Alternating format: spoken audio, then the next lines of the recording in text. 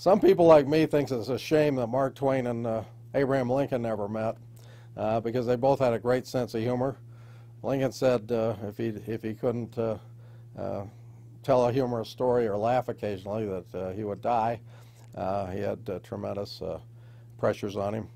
Mark Twain had a great sense of humor, as shown in this little piece of work that he wrote. America's Great Humorist, probably my favorite novelist. Um, when the Lord finished the world, he pronounced it good. That's what I said about my first work, too. But time, I tell you, time takes the confidence out of these incautious early opinions. It's more than likely that he thinks about the world now pretty much as I think about the innocents abroad. The fact is, there's a trifle too much water in both. Mark Twain.